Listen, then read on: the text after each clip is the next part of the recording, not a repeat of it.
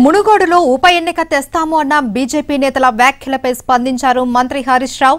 ఆనాడు తెలంగాణ కోసం తాము పదవులను త్యాగం చేశాము అని ఇప్పుడు బీజేపీ రాజకీయ ఆరాటం కోసం ఉప ఎన్నిక అంటోందని కౌంటర్ ఇచ్చారు. నిర్ణయాల్లో ఒక బీజేపీ పార్టీ నాయకులు ఉప ఎన్నిక తెస్తాం ఉప ఎన్నిక తెస్తామంటున్నారు అయ్యా దేనికోసం తెస్తారు? ఈ రాష్ట్రానికి ఏమన్నా ఒక జాతీయ ప్రాజెక్ట్ ఇస్తారా? ఈ రాష్ట్రానికి ఏమన్నా ప్రత్యేక ప్యాకేజ్ ఇస్తారా?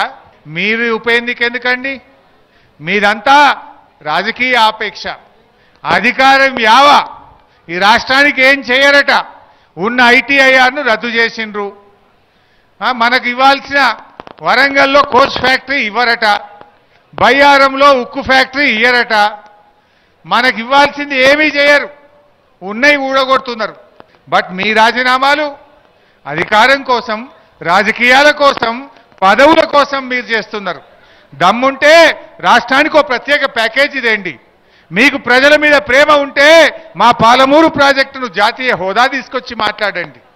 రాష్ట్రానికి మొండి చేయి చూపుతారట నిధుల్లో కోతాలు పెడతారట ఉద్యోగాలు ఊడగొడతారట పేదలకు ఉన్న సబ్సిడీలు బంద్ చేస్తారట.